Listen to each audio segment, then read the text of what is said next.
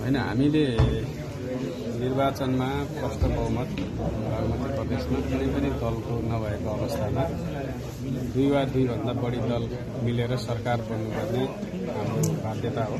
त्यसैले अहिले हामीले त्यही अनुसार हामी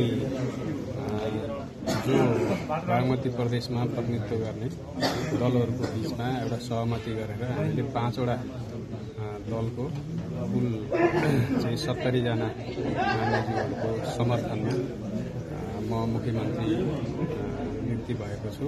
र हाम्रो बिचमा एउटा राम्रो समझदारी बनेर हुनुपर्छ र आगामी दिनमा पनि हामी यो हाम्रो अहिलेको जुन पाँचवटा दलको जुन एकता छ? अथवा जुन सहकार्य छ त्यसलाई हामीले निरन्तर लान्छौँ जस्तै यो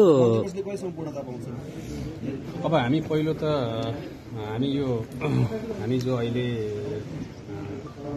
पाँचवटा दलको जुन अहिले सरकार निर्माणमा जुन हाम्रो सहकार्य भएको छ त्यसलाई हामी अब त्यो दलको हामी बैठक बस्छौँ।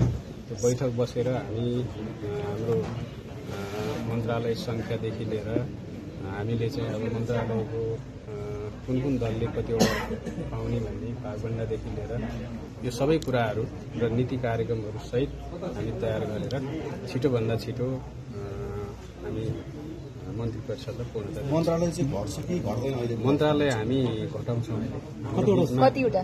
हामी एघारवटा बढीमा एघारसम्म ल्याउँछौँ। म पहिलो कार्यकालमा झन्डै तिन वर्ष आन्तरिक मामिला मन्त्री भएँ दोस्रो कार्यकालमा आर्थिक मामिला मन्त्री भएँ र मलाई यो पाँच वर्षको सरकारमा बसेर काम गरेको एउटा राम्रो अनुभव छ र मैले राम्रो एउटा अनुभव पनि हासिल गरेको छु।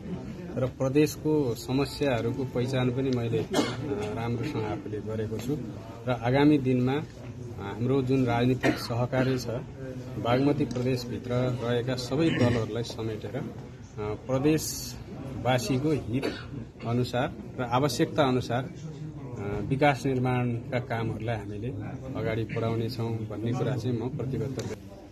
होइन हामी जुन कार्यदल बनाउँछौँ त्यो कार्यदलमा हामी छलफल गर्छौँ र सायद मलाई लाग्छ उहाँहरू आउनुहुन्छ फुल फेजमा मन्त्रीमण्डल गठन हुन्छ कि पहिले सुरुमा चाहिँ आंशिक रूपमा त्यो कुरा हामी बसेर छलफल गरेर समाजवादीले यहाँ तपाईँलाई समर्थन गर्नुको अर्थ केन्द्रमा पनि अब गठबन्धनमा समर्थन जनाउने होइन अहिले अब हाम्रो गणितै त्यस्तो छ। हाम्रो गणितै त्यस्तो छ अथवा हाम्रो जनमतै त्यस्तो छ। त्यसैले अहिले हामी मिलेरै जानुपर्ने बाध्यता छ। मलाई लाग्छ त्यसको सुरुवात बागमती प्रदेशबाट भएको छ भनेर नै हामी भन्न सक्छौँ। राष्ट्रिय सरकारको कुरा पनि उठाएको छ नि त यो सङ्केत छ। त्यो भयो भने एकदम राम्रो हुन्छ।